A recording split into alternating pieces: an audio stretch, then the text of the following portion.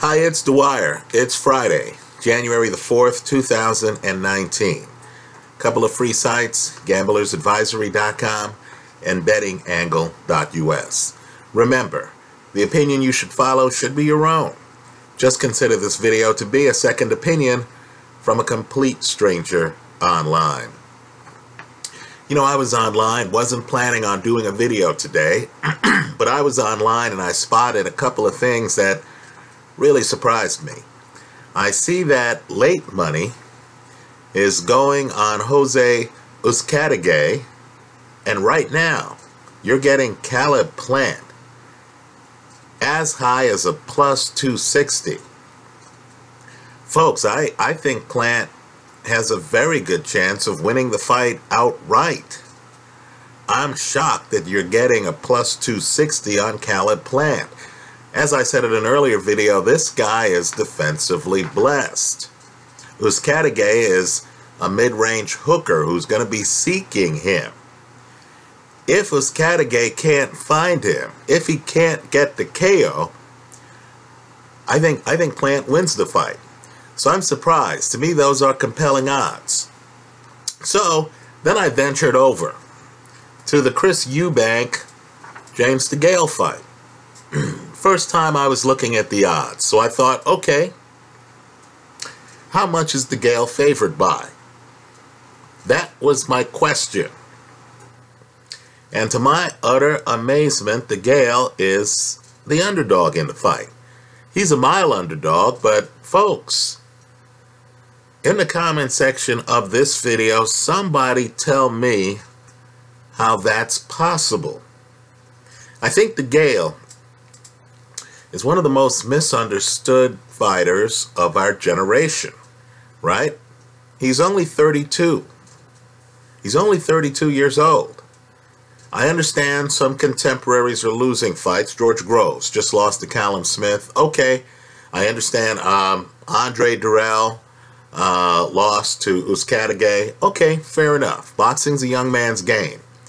But why? The DeGale's 32, and I'm just wondering, does anyone watching this video think that Chris Eubank is better defensively than James DeGale?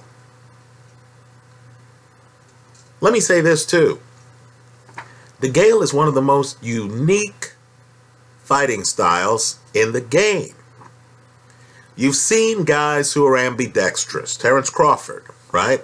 Uh, Tyson Fury.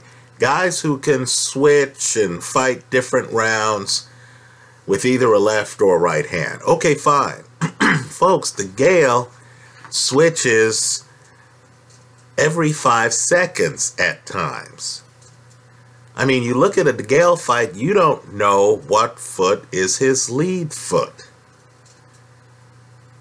right? DeGale, the Gale can switch him up with the best of them. It's a unique style that, in my opinion, can't be taught, right? His brain is wired in such a way where he doesn't have to think, let me get in a southpaw stance, right? It just comes naturally, right? 75 miles an hour and James DeGale on the fly can just go right-handed can just go left-handed. Chris Eubank doesn't have anything remotely resembling that level of creativity or unpredictability. He just doesn't. Let me say this too. when James DeGale wants, he can get on his back foot. He has a full back foot game, right? Full back foot game. He can get on his back foot and he can outbox Badou Jack. Now let's remember that Badou Jack fight because I know people are going to say, hey, that fight was a draw. I know folks are going to say DeGale got his teeth knocked out. Now keep in mind, this is the hurt business. You see a lot of guys, they look a certain way, you don't realize that they're wearing dental bridges and stuff like that. Let's face it too, Badou Jack can pack a punch, can't he? The bottom line is James DeGale was winning that fight. He had that fight in the bag. Then he curiously decided to pursue the Tyson Fury way of fighting a 12th round. Right? He's hanging around Badou Jack, who doesn't have quick feet. Right? He's hanging around Badou Jack close enough where Badou Jack knocks him down. Folks, James DeGale looked better against Badou Jack, quite frankly, in my opinion, than Adonis Stevenson did. Let's remember, Badou Jack beats George Groves. If, if James DeGale just decided to move a little bit more in the 12th round, and I understand this is like saying if Tyson Fury just stayed away from Deontay Wilder in the 12th round, it would be obvious that James DeGale won that fight. Let me say too, DeGale does have a problem with very mobile, high volume aggression right? Caleb Truax throws a lot of punches, a lot of punches, is on his front foot. The DeGale's a guy who doesn't like to be crowded for 12 rounds, right? I'll say this understand in terms of fight styles, Caleb Truax is probably the worst possible fight style for an opponent to have against James DeGale right? DeGale lost the first Truax fight. The second fight, he could have lost it. That fight was a coin flip. Let's face it. Now, it's because of those two fights, and Eubank doesn't have Truax's high volume. Right? He just doesn't. It's because of those two fights, apparently, and it's because of a bad 12th round against Badou Jack. And it's because Rogelio Medina, also front foot heavy, did better than expected against James DeGale. That DeGale somehow is an underdog against Chris Eubank. Folks, DeGale is a master technician. Master. Right? DeGale's a guy who beat Andre Dirrell in Boston. He beat Lucian Bute in Canada. This is a guy with big wins against hometown fighters on the road. Right? To me, DeGale, almost certainly, if it goes to the scorecards and no one gets knocked down, DeGale almost certainly wins a decision. Right? To me, Eubank just doesn't have this level of boxing skill. DeGale really is, in my opinion, off the page. Right now, I'll agree. We saw DeGale on the canvas against Badou. Eubank hits hard, as Avni Yildirim knows. Right? Eubank certainly has the punching power to hurt a guy there is the possibility that Eubank stops DeGale. Right? I guess a skeptic could say, you know, DeGale's looked uninspired. Probably since 2017. He isn't a great athlete. He's been at 168 for a very long time, right? Fighters who stay at the same weight class for a bit too long, as they get older, sometimes are weight drained sometimes lack stamina. I understand the argument that DeGale might be past his prime. Right? But I still don't see a guy who couldn't beat George Groves when George Groves clearly only had one arm in that 12th round. Right? And Eubank didn't know what to do. Right? Did not know what to do.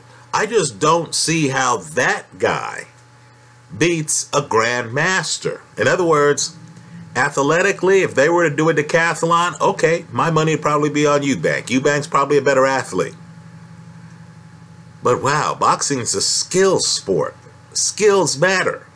As DeGale himself puts it, skills pay the bills. When it comes to skills, a guy who's ambidextrous, who also has a back foot game,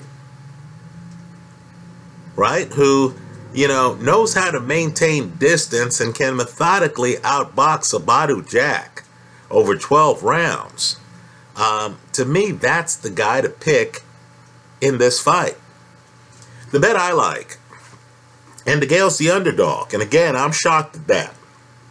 I was expecting DeGale to be a minus 150, right? Odds that would give DeGale a 60% chance of winning the fight, right? A minus 150 or a minus 200 or something like that. To find out that I could actually just take DeGale to win and get better than even money odds. And then on the other side of the play, take, you know, Eubank by KO and that the hedge is actually possible. Well, that surprises me. The bet I like is DeGale to win hedged with Eubank by stoppage. But understand the risk involved.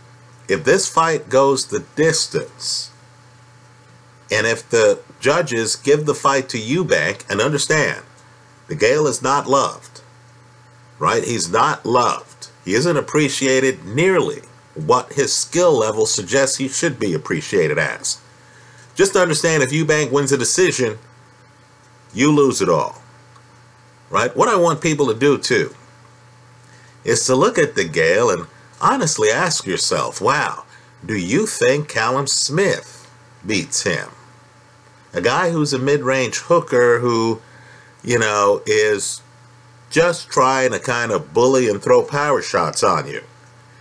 Right? I'm just telling you, DeGale, and I know DeGale slaps at times, but when DeGale wants, he can live behind a jab. In other words, folks, there you know, I'll just put it this way. DeGale has certain modes. Right? The same thing, by the way, with Jurgen Brähmer, another guy who I think's undervalued at 168. Right? These guys have certain modes. They're not the same fighter every fight. Now, some of these young guys, Eubank, and I'll give Eubank credit deep in the pocket. He throws one of boxing's best uppercuts. I'll concede that. But these young guys, Eubank, Callum Smith, um, folks, boxing's a craft. I don't think these guys have yet developed the entire level of tactical game that guys like uh, James DeGale or a Jurgen Brähmer have. So if the casino is going to give me better than even money odds on DeGale against a guy who recently lost a one-armed George Groves, right? Groves is clearly hurt. His corner's not even trying to hide it. Groves is there on the ropes. He has one head dangling. And Eubank didn't have the presence of mind to pin that hand and just hit him with, with the other hand.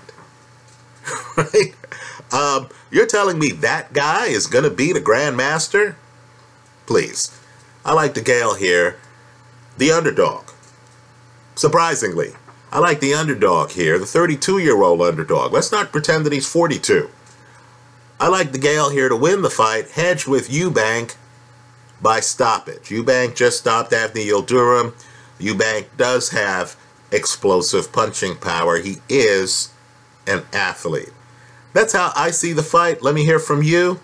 I look forward to your comments in the comment section of this video. Also, revisit the odds on the Caleb Plant fight. That's ridiculous, folks. Right? Plant simply puts one of the better defensive fighters in the game. That's how I see it. Thanks for stopping by.